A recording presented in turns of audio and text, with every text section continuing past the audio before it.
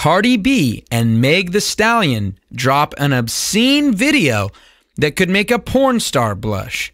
Hasbro pulls perverted doll off the shelves as Audi pulls a suggestive ad involving a child. Stay with us as we look at these and other stories on the 511 News.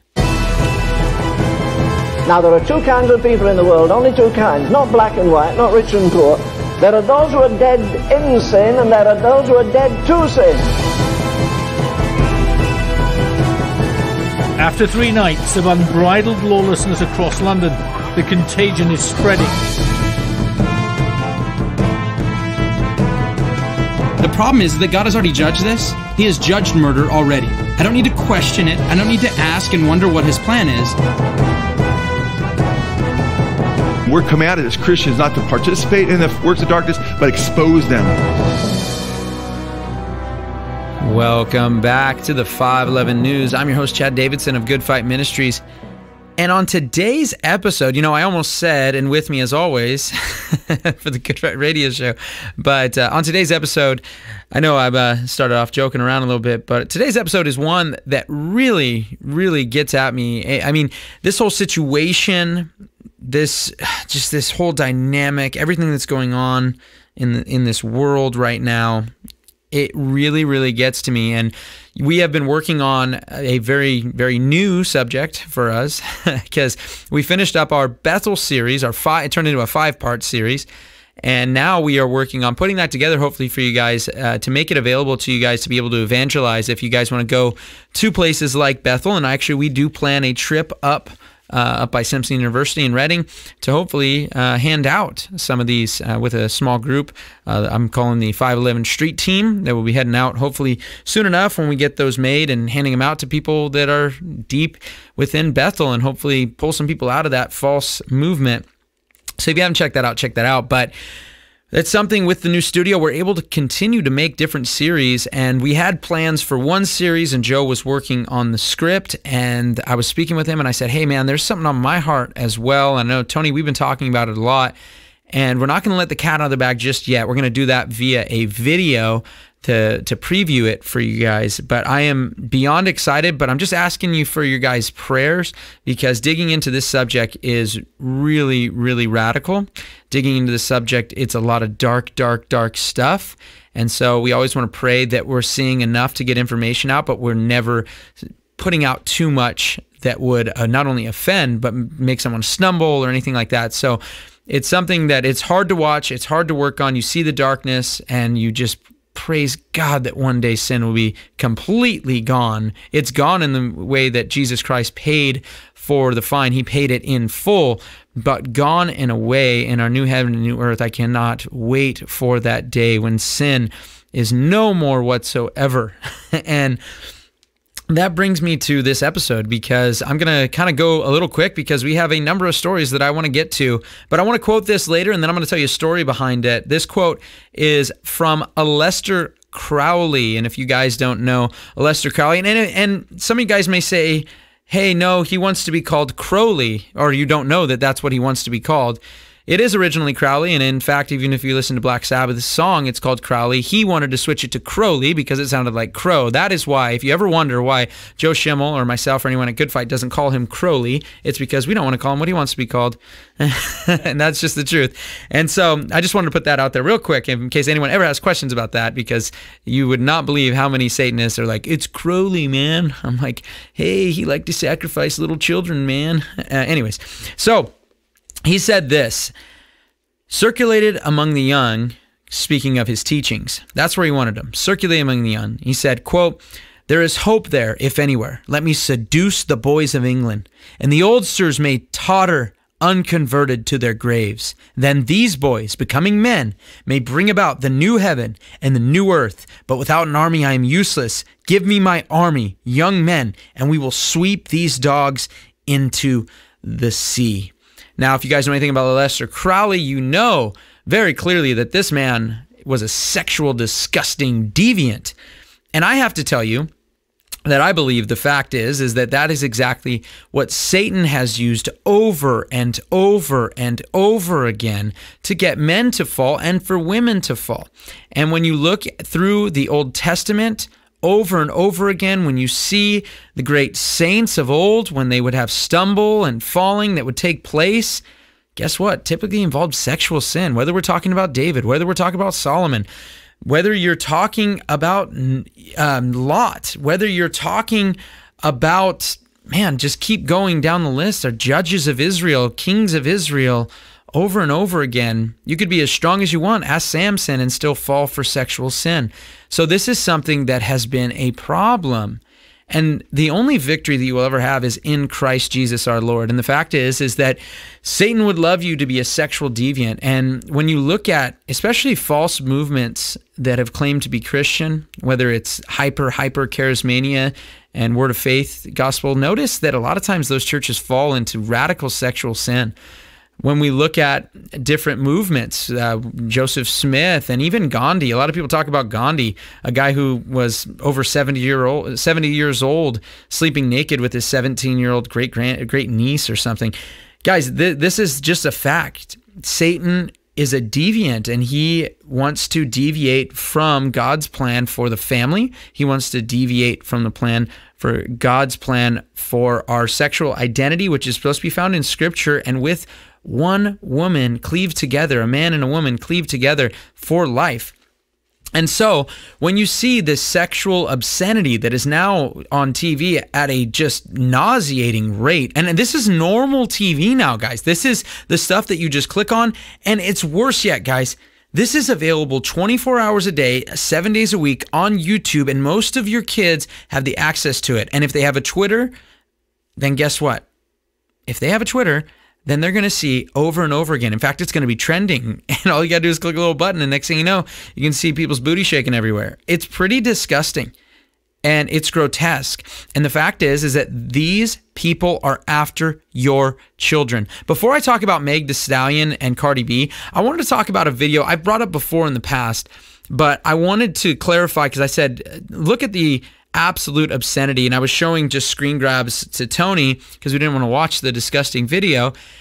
And it was from an artist known as Iggy Azalea. I'm sure a lot of you guys know who she is. She's from Australia. And she has a song literally called Fancy. She did with, I know, Gwen Stefani. And that song is about to hit, at, I'm sure at some point will hit a billion views. A billion views. A billion. Just think about it. The United States has what, 330 million people? A billion views on her YouTube channel. And so I, I want to get that across because this is also a girl who has another song out there called P U and then money sign, money sign Y. You can all understand exactly what she's talking about if I just give you that give you that little portion there. And the fact is is that in that video I believe without a doubt she is hinting at pedophilia. She has a very young little boy in between her legs, and in the very next scene is riding a stallion right next to her, riding a fake little pony right next to her, and then in between her legs. And then she's making suggestive lyrics, then she's making suggestive things with ice cream, and it's just absolutely disgusting. And the whole thing is centered around children. There's children and an ice cream truck, and children sitting suggestively grabbing around her looking almost like it's her boyfriend and then sitting between her legs. And this is disgusting. But over and over again, this is the stuff that is peddled to children in the United States as normative. This is peddled to children as these are the icons. These are the idols, the American idols. These are them and there's they sadly you walk into a youth group here in America. Now you don't I guess you don't have to you have to watch into a youth group Zoom meeting for most of them. But you walk into a youth group and these are the artists they're going to be talking about if you hear if you just had some mics in the room sadly. And it's heartbreaking. I remember when Carl Lentz from Hillsong I was doing some research on him when I saw him take a picture with Justin Bieber and Kevin Durant and sitting courtside. And I remember on one of the pictures, he specifically had the lyrics from John Lennon's song Imagine. Now, imagine with me somebody having lyrics who is a quote unquote pastor. He's a blind leading the blind, if we want to actually get down to it. But a quote unquote pastor wearing a shirt that might as well say, Imagine Jesus is a liar. Because Jesus promised us heaven. Jesus promised that he, when he goes away, he goes to prepare a place for us. But when you have lyrics to a song on your shirt, because you think you look really hip with it, and those lyrics say, basically say, instead of um, his shirt said, Imagine all the people, the true lyrics said, Imagine there's no heaven. It's easy if you try. To glorify that sort of thing is positively and ridiculously disgusting. But I remember reading an article that was early on in his ministerial career, and it talked about his youth group that was growing in Virginia Beach. And at that youth group, it talked about when you walk in, you would hear songs from Lady Gaga when he drives up in his motorcycle. He's got, I, I can't remember if it was Rolling Stones or Lynyrd Skynyrd or something along those lines. Got that t shirt on. And it was like, bro, do you just have to be everything the world wants you to be? I, I remember going to a church service, and this is something I'll do. And uh, being a wrestling coach for the number of the years that I have been, I would take guys to the national championships down in Virginia Beach, and we go to different churches. And I remember walking in and hearing Coldplay, and I just thought to myself, "Gee, just from a somebody who was a non-believing God hater before I was saved, who on earth walks into a church, hears Coldplay, and is like, "This is where I gotta be. I, I'm so excited that I'm hearing Coldplay right now. Now I feel accepted." No, that's silliness. That's ridiculous. First of all, they're terrible. Second of all, objectively, no, I'm just kidding. But I, th- I mean, they're terrible. You can go look at our video we have on Coldplay. Actually, I think the internet, uh, I think our YouTube channel, we got struck down on that video. It might be, I don't know if it's up anymore on Beyonce and Coldplay playing the Super Bowl. But these dudes are whack jobs, man. And the fact is, is that this isn't pulling anybody in. All you're doing is taking those who may be believers and may be young in their faith, and you're saying, just be exactly like you were before you were saved. And that is a Christian. And it's not. That's not the Christianity that we read about in the New Testament. It's not there. It doesn't exist. We are holy brethren, separated. We have the Holy Spirit inside of us. When somebody looks to the church, it shouldn't look like a nightclub. And then you have diet parties on, on Friday nights at your college groups and diet parties where they're not even ex- as extreme. So then, typically, as my friends did, me and my friends did before we were saved, before I knew the Lord, we would pick up girls at the local Christian diet party and we would go actual have the debaucherous times we wanted and then drop them back off for, to their diet Christian party. And the fact is is that we need to get away from that. We need to be holy brethren. If somebody is re, is revolting from you because you look too much like the Lord, that is their problem. I'm sorry. That is their problem, not yours. We need to make sure that when somebody comes to know the Lord, they come to a place where they can be sanctified. They come to a place where God will be glorified. And we will not sit there and play Lady Gaga and nonsense at our churches and think this is okay. And I say this because my wife attended a somebody who was claiming to be a Christian at the time went to attend her uh, bachelorette party, and when she got there, guess whose song was on? Iggy Azalea, the one basically pushing pedophilia in a different song. Iggy Azalea was on, and my wife's like, "Do you know who this is?" I'm like, "Yeah, let me explain. It's it's worse than you think." and I'm like, "That's disgusting, man. That's heartbreaking. We need to actually care about this stuff and see what people are pushing." And it's not just that. And that I, I mentioned the newest, newest, the newest, yeah, might as well have been, uh, the newest song from Cardi B and Meg Thee Stallion a song called WAP, and yes, or WAP or whatever. Um, it's an acronym for something really disturbing and disgusting. But it is, like, as I said in the intro, it could make a porn star blush. This song is grotesque and disgusting.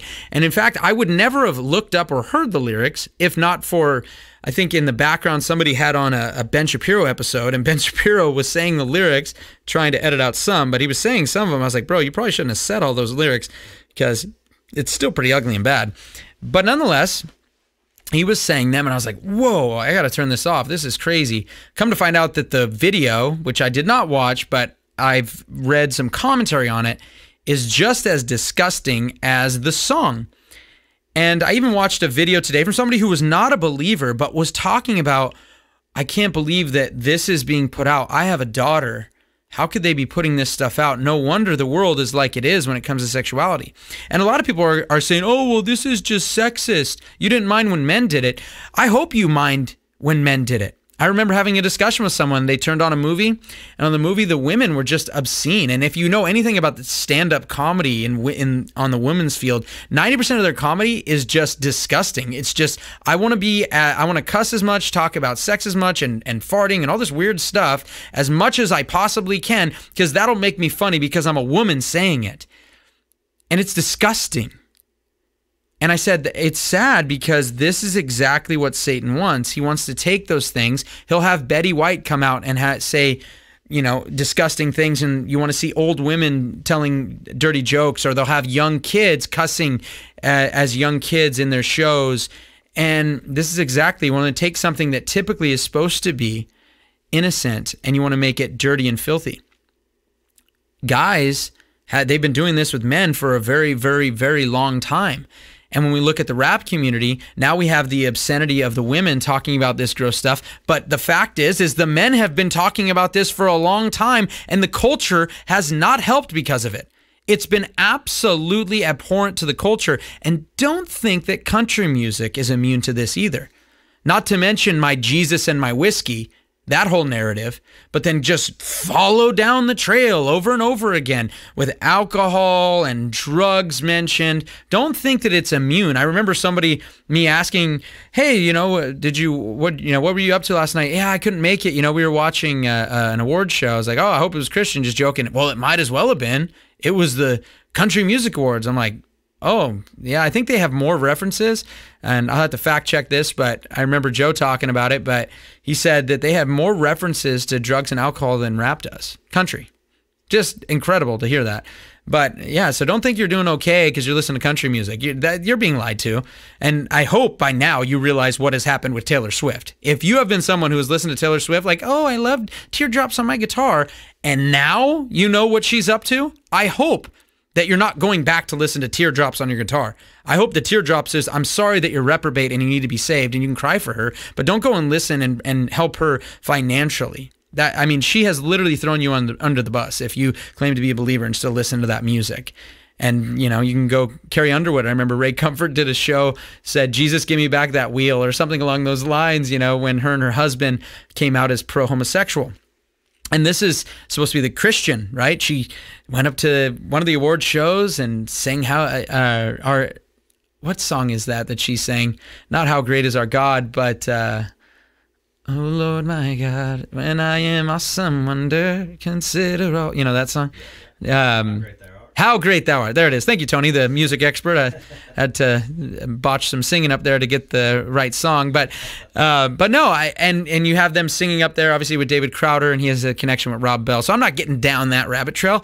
But the point is, is that we are allowing our children to listen to these artists who, I mean, if you're allowing your kid at this point to listen to Cardi B or Meg Thee Stallion I got to ask where you're at with your walk. I'm just going to call you out. I got to be honest. If I found my kid listening to something like that, I don't know. I'm like, Lord, help me not to have my head literally explode because this is the most obscene thing.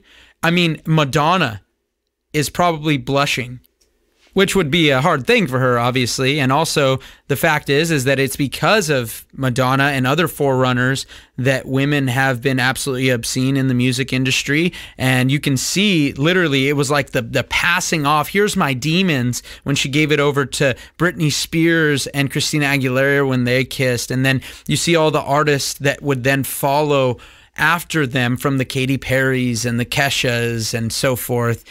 And guys, this is just sad. And they're going after the children. That is exactly what's taking place. And it's not just it's not just Iggy and Cardi B and Meg Thee Stallion and Kesha and all these artists, you know, making songs.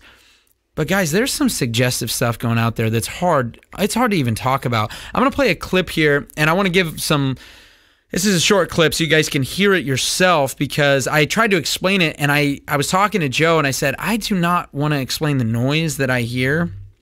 And my kids were there, so it was tough even discussing it.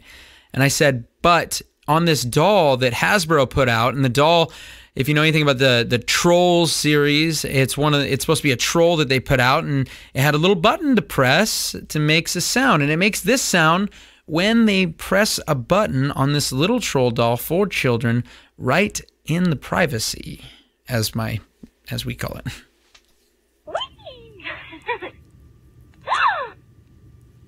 Oh. like a gasping sound. And I know some of you may not like think this is a big deal, but especially since I've had kids, like this is wrong.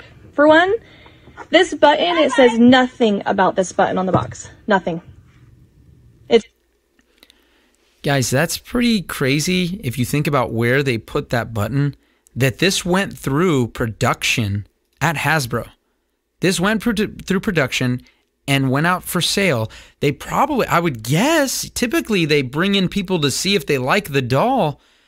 You are having little girls press a button on a girl's private parts and making, yeah, I was thinking the focus groups as Tony talked about. I don't know, maybe or maybe not. But I'll have Tony put a link so you guys can see it yourself because honestly, when I saw it, I was like, wow, it's worse than even reading it. it it's really, really bad. And this is normalizing this stuff. This is normalizing it. And if you look at, I don't know if any of you guys have watched the Jeffrey Epstein, not only our video, but also the Jeffrey Epstein video that's on Netflix, the documentary series, the four part documentary series but how he groomed these young girls and how he went after girls that were in poor neighborhoods and brought them to a nice rich house for a, ri- a rich guy to do, you know, quote unquote massages, massages, uh, massages. There we go. And you, uh, it, it's it's really hard to even express, but you see how he goes after them and how he gets them in a vulnerable position. And I know one of the girls that are on there was sexually abused before Jeffrey Epstein sexually abused her. And this is exactly right. This is what happens. This is normal. It's about getting that money, right? Cardi B, right? She bragged about drugging a guy and stealing his stuff. She, you know, this is who they are. She was a stripper and now she's out there. And, you know, I, I, I look at it and I see it and I was as I was expressing to Tony is just looking at the the climate, looking at the things that are going on, and then looking at my daughters trying to watch through the Epstein documentary, trying to watch through some of these things that we've talked about on 511 News and on Good Fight about child sex trafficking. And I look at my daughters and and I I I man I, I get so frustrated. And, and I wanted to talk about this because I, I would hate for somebody's heart to get hardened on this subject because I can tell you that I I can personally tell you that I remember a distinct time where I was watching, and if you guys remember Chris Hansen from Dateline NBC, To Catch a Predator, uh, that was a series that went out, and I think it kind of opened the eyes to a lot of people. And I pray that. I hope that what happened was some people were scared enough about being on that show that they didn't go and take advantage of young children. And he would basically set up this sting operation and then it was it was awesome because in the first season he wasn't really involved with the cops as much but then after I think they saw what was going on they got involved in these sting operations and every single person eventually they I, I believe they were getting arrested right afterwards and Chris Hansen would basically set up these meetings and have this young actor, but the young actor was over 18, but they looked really young. And then they the the perverts would walk in to take advantage of these kids, and you know someone would bring alcohol and liquor and and stuff. Uh, I just said the same thing: alcohol and drugs, weed, whatever it is, and they would bring it in. And then Chris Hansen would come out, "Hey, I'm Chris Hansen from Dateline NBC." And they would make up all these excuses. I've never done this before, all this stuff. They're like, well, actually, we know you have done this before, you know? And I remember watching video after video, and I just don't think that we're even made to watch video after video on stuff like that. I, I don't think our brains are, are ready for those things because I knew I wasn't because I was getting to a point where my my heart was hardening towards these. And this is before I had kids or anything, and I was just watching video after video, and I was in I was in like rage tears. Like I, I want to do something. And I remember just shutting my computer. I'm like, Lord, help me because I do not want to get a cold heart towards anyone when it comes to sharing the gospel. But this is really hard to watch. This is really hard to look at. And and the fact is is that from Hasbro to Cardi B to Meg Thee Stallion to Madonna to Britney Spears to Taylor Swift to Audi as we're going to be moving on to there. They've all been used and this is why I've this is why I came to Christ because I recognized when I watched they sold their souls to rock and roll I recognized there was a synergy that it wasn't just a bunch of people's you know brain you know moist robots as Frank Turek would call them you know moist robots just just moving along as the DNA tells them to. It wasn't just that there was a spiritual side to the wickedness that I saw from these artists that were all pushing the same agenda. And when I see these deviant agendas being pushed, when you have Beyonce, I'm not even going to get into the Black is King and Baphomet stuff she's getting into, but when you have her talking about how she wants to be like a man, you know she wants to she wants to just sleep around and be like a man when you see this narrative this agenda from all these artists whether guys or girls going forth recognize it's a spiritual battle it's spiritual warfare. And recently audi was involved in having to take down a an ad as well. They put a red sports car with a young girl I, I think couldn't be more than between four and six years old a young girl dressed up like an adult suggestively eating a banana in front of the red sports car. I mean what are you doing? What are you doing? Doing this stuff and parents, what are you doing letting your child be involved in this? The whoever let their young son be involved in Iggy Azalea's video or whoever let their young daughter to be involved going in front of this Audi dressed in this suggestive manner eating a banana. What are you doing as parents?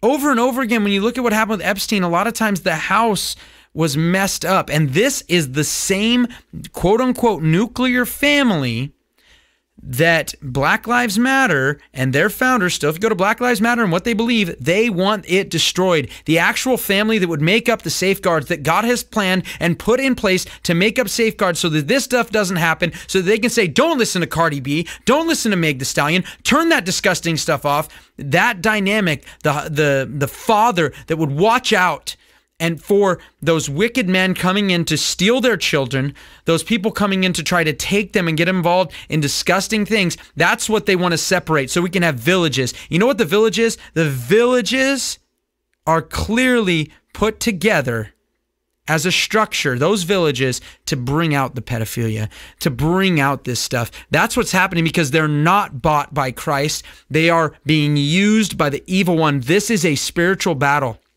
If we do not understand, if we do not get that this is a spiritual battle, we are going to lose. If every one of these sex trafficking people that we support are non believers, we're going to lose the battle. Because if we pull someone out of sex trafficking and they no longer sex traffic the rest of their life, but then go to hell, what are we doing? We need to preach the gospel. It is the only victory. Our only victory banner is Jesus Christ. We need to be on the front lines of these things. And to start it, to start it is to make sure your home is right. And hey, Christians, I've talked about this. If you're a Christian, think about adopting. Honestly, think about it. I want to encourage Christians, think about adopting. Why not? Because a lot of these kids that are getting caught up, and if you watch the Epstein documentary, a lot of the people getting caught up in that, they're in broken families. How about you bring them to a family with Jesus? How about you put Jesus into their life? Just something to think about. I don't want to, you know, I'd hate to convict you. That's not true. Uh, I would love to convict you, but it's something on my heart, and and it's breaking my heart to watch these things. And one of the things that's happening is Satan is sneaking in through that little device that your kids have. Don't let him sneak in there. Don't let him get a foothold on your child's life. Do not let him take them from you. Watch over them, love them, in Jesus' name. The 511 News with Chad Davidson has been brought to you by Good Fight Ministries, bringing you news and commentary from a Christian perspective. This show can be heard every Friday wherever podcast shows are available, or visit 511news.org. Thank you for joining us, and we look forward to being with you next week on the 511 News.